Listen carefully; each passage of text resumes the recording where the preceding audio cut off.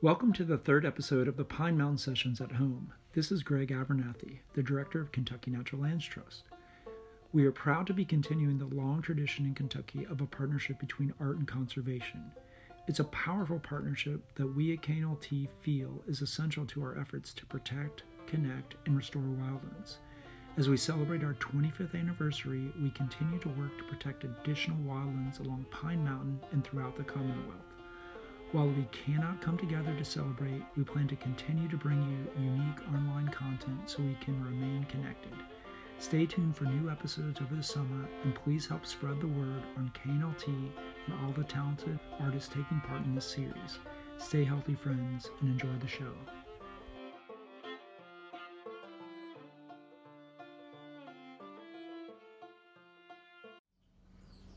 Hey, everybody out there. Thanks for joining us for the Pine Mountain Sessions. I'm here, uh, the porch of the big cabin, Fox Hollow Farm, uh, just outside of Louisville, and been back home for about a month now. I was living in Ireland for what was supposed to be a year-long fellowship studying uh, brain health and dementia, and about mid-April it seemed like it was time to come home. So, um, yeah, sad to pack up my life there in Dublin and leave my friends. Um, but it's so nice to be home, close to people, close to all my people, my friends and family, and uh, and to all of you. So, um, this first song I'm gonna play is called "Simple Life," and I wrote it several years ago. It's really just about how few things, uh, realizing how many, how few things I need in my life to be happy and make it. Uh, it's called "Simple Life." I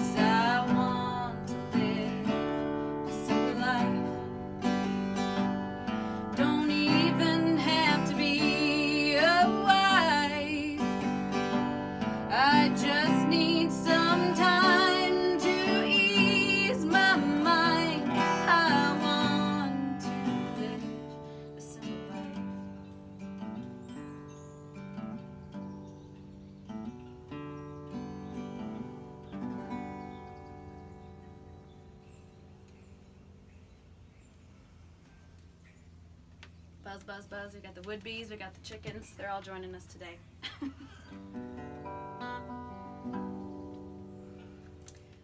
got a short one for the kitties. One of the oldest stories in song, um,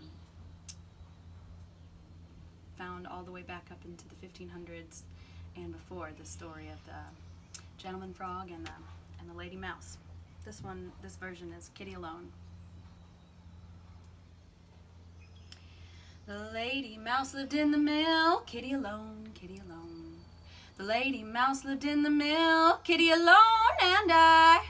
The lady mouse lived in the mill, the gentleman frog lived in the well. Rock my carry, kitty alone, kitty alone, and I. Well, he rode till he came to Miss Mousie's door, kitty alone, kitty alone. He rode till he came to Miss Mousie's door, kitty alone, and I. Rode till he came to Miss Mousie's door, where he'd been many times before. Rock my carry, kitty alone, kitty alone, and I. He took Miss Mousie on his knee, kitty alone, kitty alone. He took Miss Mousie on his knee, kitty alone, and I. Took Miss Mousie on his knee, said Miss Mousie, will you marry me? Rock my carry, kitty alone, kitty alone, and I. Well, they all came a tumbling down the brook, kitty alone, kitty alone. They all came a tumbling down the brook, Kitty alone and I. They all came a tumbling down the brook. The old duck swallowed them down her crook. Buck my carry, Kitty alone, Kitty alone and I. Thanks to Mr. Chicken for the backup. I'll see you guys.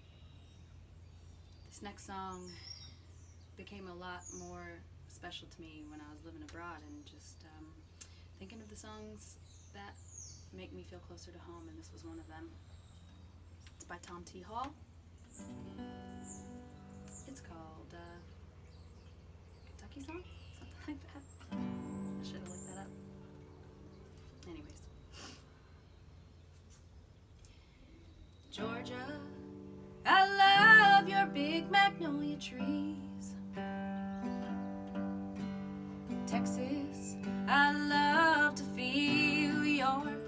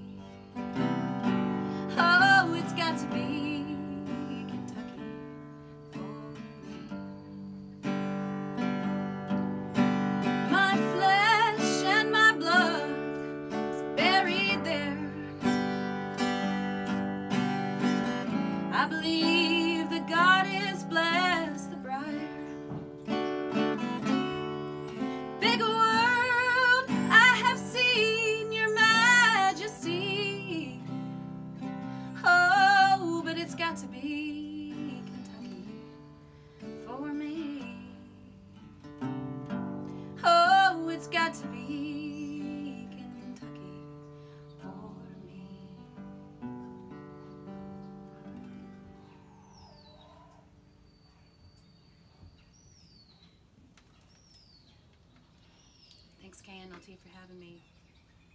Thanks, Pine Mountain, for being beautiful. Hello, I'm Silas House. I'm a novelist, and I'm really proud to be here for the Pine Mountain Sessions at home.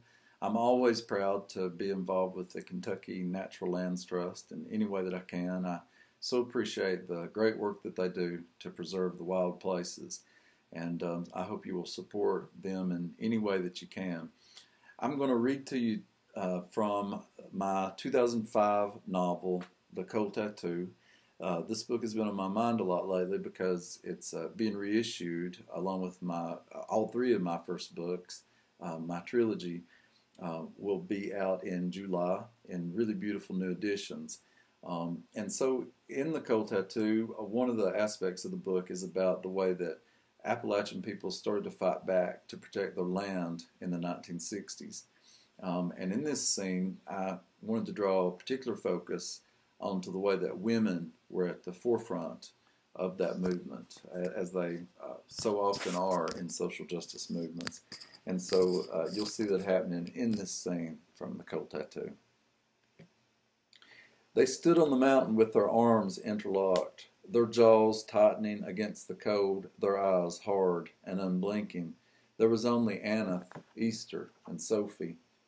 Easter wondered what the driver of the dozer thought of them.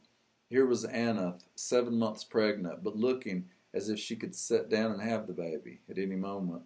Sophie, who was not more than five feet tall, even with her beehive hair. And Easter herself. Could he see that the grief of the last few years had thinned her, had cleaned her completely out? Or could he see that this same grief had made her stronger somehow, had made her more adamant than ever to fight for what was hers, to keep alive all of her family that she could? Did he see in all three of the women's faces that they would not surrender their land? Easter looked at him sitting up there, his face dark because of the morning's new sun behind him, and knew that there was no way he could realize that Sophie had the courage to kill anybody that crossed her family, despite her thin wrist and kind eyes there was no way he could fathom the rage that Anneth was able to unloose when the need arose. It seemed more likely that he saw three women and found this laughable. He tapped the gas and a metal lid lifted on the exhaust pipe to allow three blasts of black smoke to burst out onto the morning air. The lid closed again and rattled there atop the pipe with thin wisps of smoke seeping out around its edges. The doors of the Ford came open, and two men stepped out, flicking cigarettes off into the woods. The women held on to one another's arms more tightly, pulling themselves together into a whole. As the men came closer, Easter felt the mountain behind her, its presence so big and real that she thought she could feel it breathing, something ancient and alive.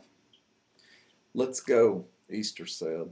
They moved forward together then, climbed into the dozer scoop without difficulty, settling in it as if it was a wide, deep porch swing.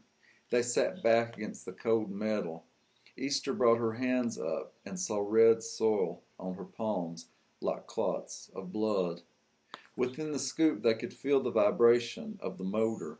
The driver hollered, but they couldn't make out his words, so he tapped the gas again to startle them. Easter flinched at the sudden jolt but steeled herself against the dozer bucket. There was no way she was going to move now. More hollering, and then the scoop lifted and swung out, dumping them onto the ground in front of the dozer. Easter fell on all fours and saw Sophie tumbling down to land beside her. But Easter, but Anneth held on to the edges of the scoop, wedging herself in, refusing to let go. Easter looked back at the mountain its winter trees black and skeletal. She thought the mountain might rise up and avenge them. She thought of the birds that were usually gathered here and figured they had moved back into the deepest parts of the forest. The driver brought the scoop down, a great heaviness being released. When it hit the ground, Easter could feel the impact in her ankles and up the backs of her calves. Sophie was beside her, hanging onto her arm, hollering words that were lost. Anneth still had her feet firmly planted against the edge of the scoop, her back pressed against the metal. There was nothing to read on her face. She had her eyes closed, and Easter thought she might be praying. The driver swung the scoop in the air, brought it down again, the sound of it striking the ground, a dull, wide vibration through the earth. And then Anneth was tumbling out of the scoop, rolling toward them with her arms out to soften the blow. Easter pulled her up onto her lap, wiping dirt away from her sister's face. I'm all right, Anneth said, pushing her away. Get away. Don't let them think they've hurt me. But the baby, Easter said, I want you to go back to the house. If you think I'd leave now, you're crazy, Anneth said. Easter took in everything, in flashes, as if her eyes closed between images. The dozer rolling toward them now, chunks of dirt caught in the metal tracking that wound about the wheels. The trees, their limbs bending down in a slight breeze, as if leaning over to watch the action below. The sky, gray and low, and then, as the dozer rode closer and closer, they all knew what they had to do. They interlocked their arms and sat down. The driver didn't stop until he was so close that Easter could smell the soil caked across the bottom of the scoop. So thanks again for tuning in tonight, and please support the efforts of Kentucky Natural Lands Trust. Thanks so much for being here. I'm going to do a couple songs for uh, KNLT, Kentucky Natural Lands Trust. And uh, really love the work they've been doing, preserving uh, wild lands in Kentucky. And this is a song that I wrote after John Prine died. And uh, it's Benny's favorite song so far. Um, yeah, I had these sort of uh, John Prine inspired verses, and then I don't know how it popped in my head, but uh, Serenity, Serenity Now, as the chorus, I guess came from uh, the the uh, uh, Seinfeld episode where George Costanza's father um, gets a mantra given to him to help calm him down in you know stressful everyday situations, and but it quickly becomes more like a curse for him. You know, it goes from serenity now to serenity now. So maybe you've seen it, maybe not. Either way.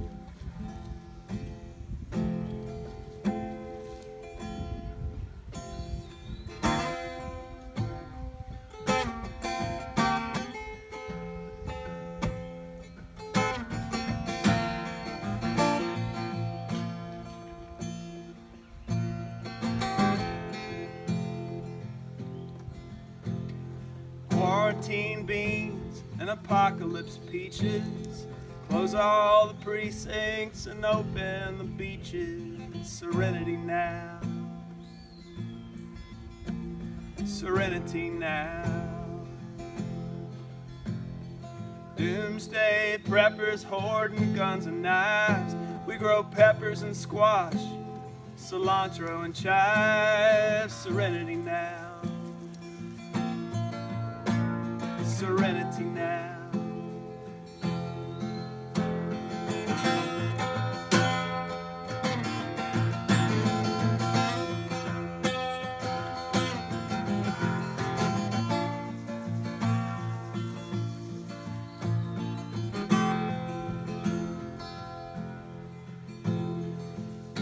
Blossoms tremble on redbud boughs. Can we just let go and let the bees buzz around? Serenity now. Serenity now. Can we just let the bees buzz around?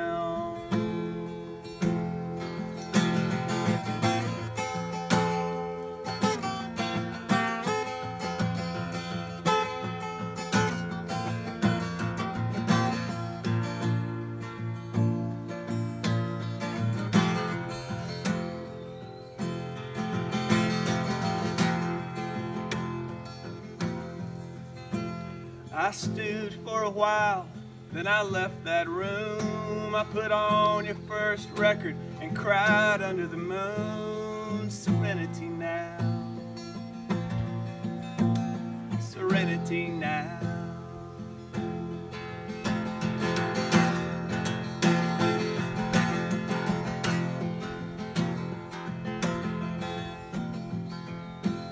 Now his bare feet sticking out the recliner. Seen a curve, an arch more finer. Serenity now. Serenity now. Can we just let the bees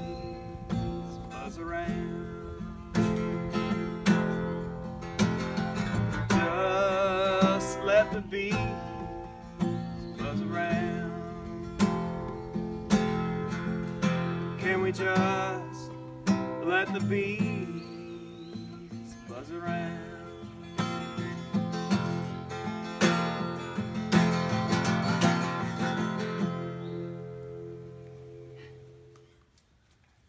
This is uh, Joy Dogs, which was heavily uh, borrowed from Marianne, from her poetry. I like to call it a collaboration, but I guess it was just me like going through and rating her book called Joy Dogs. anyway.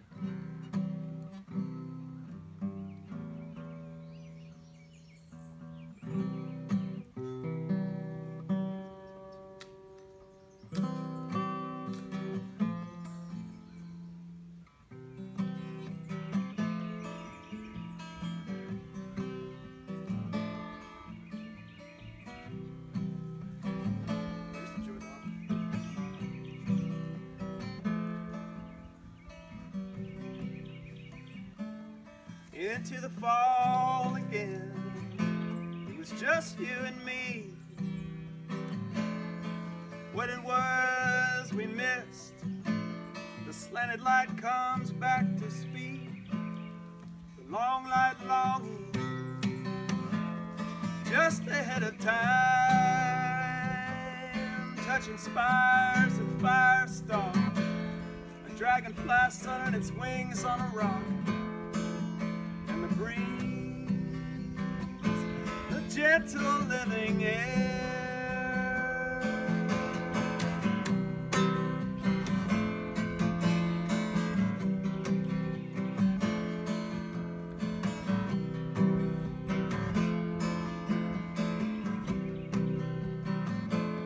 The world is on fire.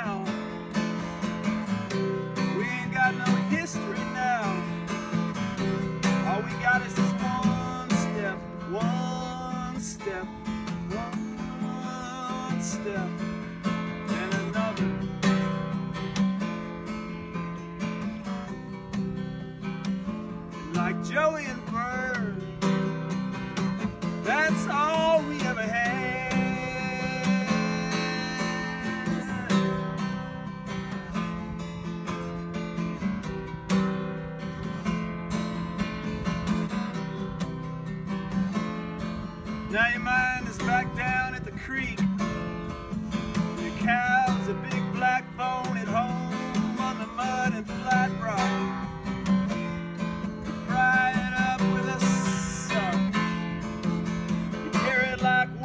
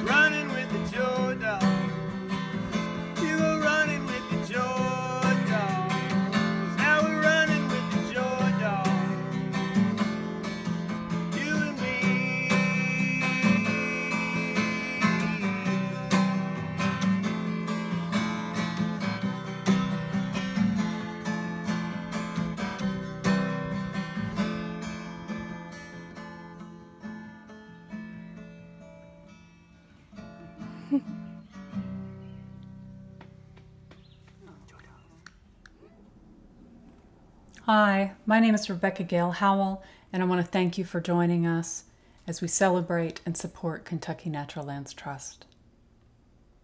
I want to share with you a couple of poems that have been good teachers to me during these quarantine days. The first is by Thomas Merton.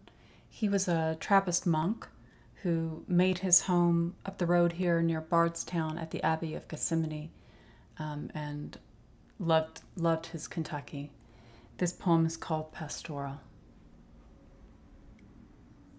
Earth's amniotic atmosphere, wherein winged clouds arc over us, cleaves to the turning globe like flesh to feed and light and cover us.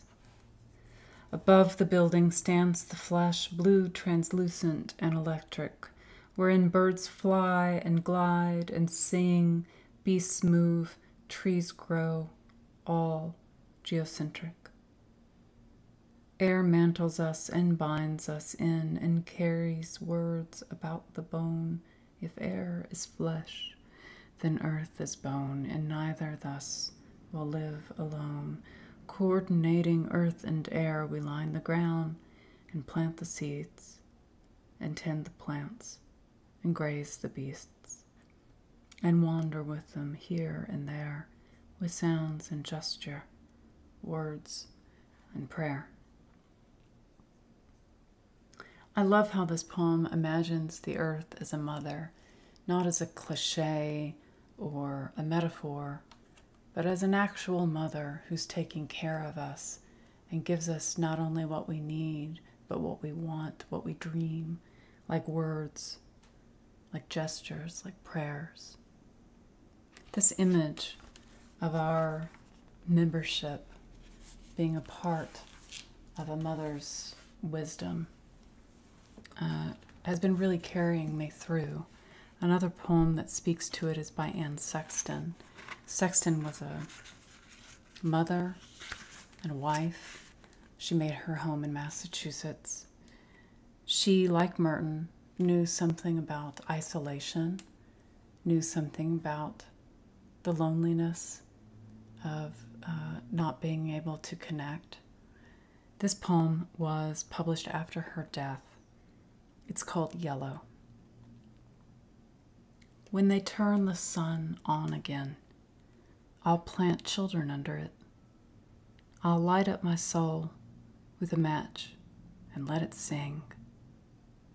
I'll take my mother and soap her up. I'll take my bones and polish them. I'll vacuum up my stale hair. I'll pay all my neighbors' bad debts. I'll write a poem called Yellow and put my lips down to drink it up. I'll feed myself spoonfuls of heat, and everyone will be home playing with their wings, and the planet will shudder with all those smiles, and there will be no poison anywhere, no plague in the sky, and there will be a mother broth for all of the people, and we will never die, not one of us. We'll go on, won't we? I love this poem because it teaches me to send my imagination out farther than my own body can go. It teaches me to remember delight and that joy is one of the great things that this earth gives us. Not just as a bundle, not just as a gift, but as sustenance. I'll finish with a poem of my own this is from my first book, which was called Render. And it takes as its point of imaginative departure um, the fact that when cows calve, uh, when a cow is calving, she'll she'll go off by herself um, as far as, as she can from the herd, and because she knows that she can't protect herself or her calf if predators come, so she'll give birth, and then after she does, she will stay there and lick the calf clean of its smell so that uh, when it's ready to walk, they can travel safely. This poem imagines a human in that situation and uh, is asking questions about what it means to be born again. A brief atlas for return. When the herd arrives, you will be lost in the field without the cover of trees, your days wet and natal with wide heat, your sense absent, your drought throat. Behold their approach, silence of their silence, how they rend with the soul, with the hooves smelling blood guilt seeped underneath how they will not leave what was abandoned, how they circle you, mother tongues upon your forehead, your neck, your back and bold chest, anointing you, new and without scent, without name. Hello, my name's Joe Manning. Thank you for joining me in my home office. Um, I live in South Louisville with my family. I grew up in Louisville, and I'm very, very grateful to KNLT for inviting me to uh, to be here today, especially in such distinguished company as this. So uh, I'm going to play a couple tunes for you, um, and I hope you enjoy them. Thanks. This first song is a tune called uh, Echo Lake. It's a song that I perform um, with a band that I'm in called Giant Dunes, um, and we'll have a record out later this year. Here's a song called Echo Lake.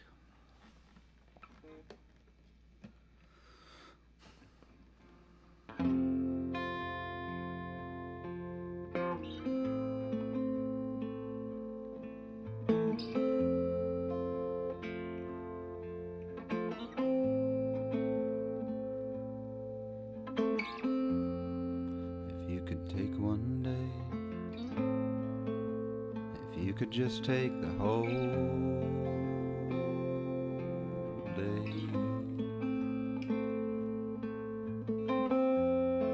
Before the winter stretched out long, before the she wolf opened wide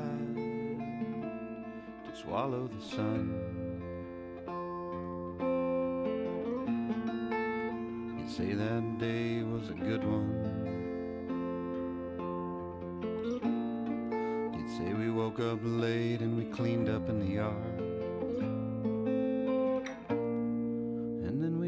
With the radio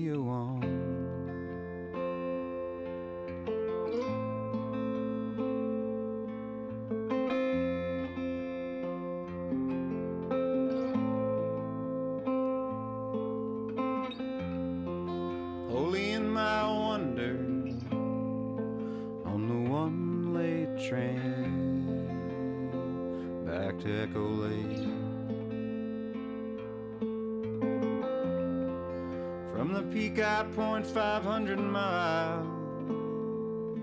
And there have I been. The wild geese are not discouraged by what they must leave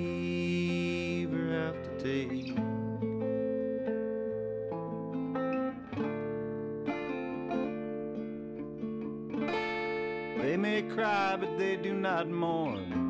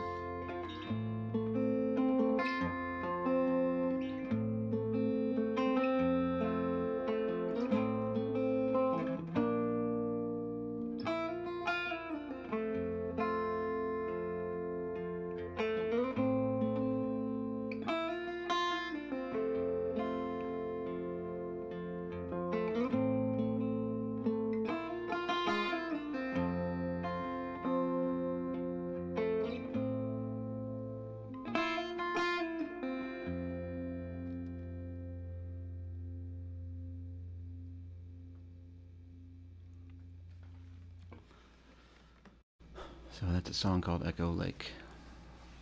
Uh, let's see. Now I'd like to do um, a song called Amigo that I submitted to the Pine Mountain Sessions, which is a really fantastic project mounted by my friend Daniel Martin Moore. Um, some of you will be familiar with it, but if you're not familiar with it, go check it out. All the uh, it's uh, in support of Kentucky Natural Lands Trust and Pine Mountain, and uh, uh, it's a fantastic project. You you you will be dazzled by the by the uh, brilliance of of the contributors. Really special. So I was glad again to be uh, included in such august company. Um, let's see. This is a tune called Amigo. I usually sing this song with my buddy Glenn uh, Denninger, whom I've not seen much during the quarantine. Uh, I'm sure that many of you are missing some of your friends and family as well. But uh, I hope that, that you are healthy and well and in good company wherever you find yourselves today. Okay, a song called Amigo here. It's kind of it's an older older tune I wrote many years ago.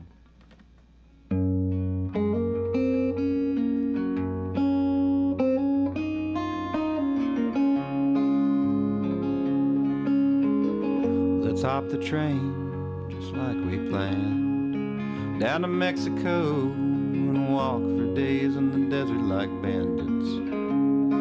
You'll be Lefty and I'll be Pancho. Unless we freeze our little asses off in a train yard outside Chicago and pack it up, call it off, and trade it in for cheap drinks and dry sock, and cable TV and good intentions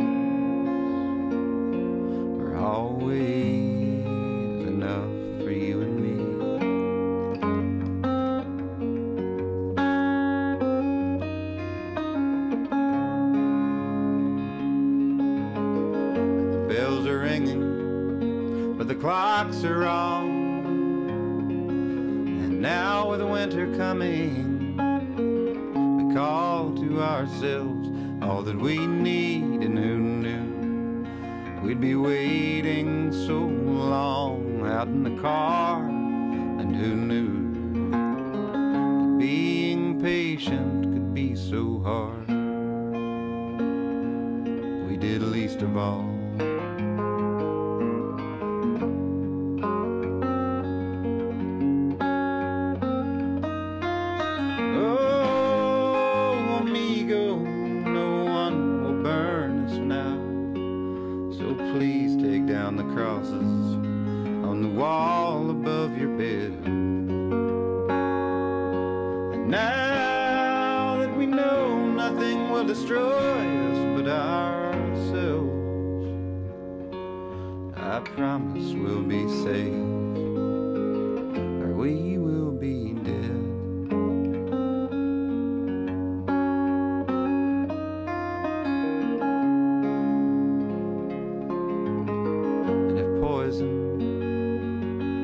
tasted like it should, and if the fighters didn't have to fight so damn hard, only to be good, they'd throw their gloves off and sit down at the table with folded hands.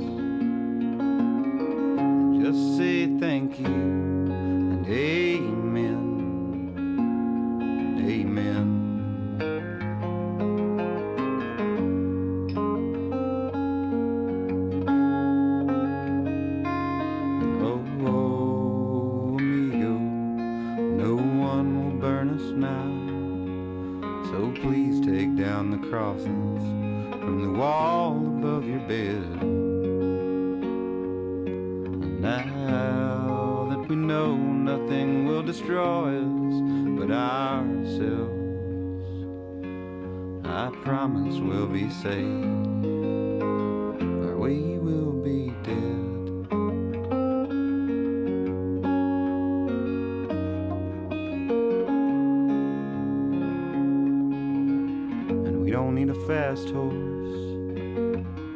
silver six gun. We don't need a little John boat hidden in the reeds. Cause we've already won. We've always already won. We've